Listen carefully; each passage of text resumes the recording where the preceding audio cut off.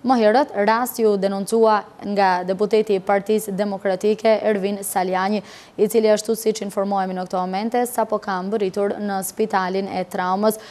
Ndërkohë, ndodhet aty së bashku me këngëtarin Stresi, i cili është një mik i të plagosurit, pra njëzet e katër vjeçarit Sidion Tabaku. Ndërkohë, më herët rasti u denoncua,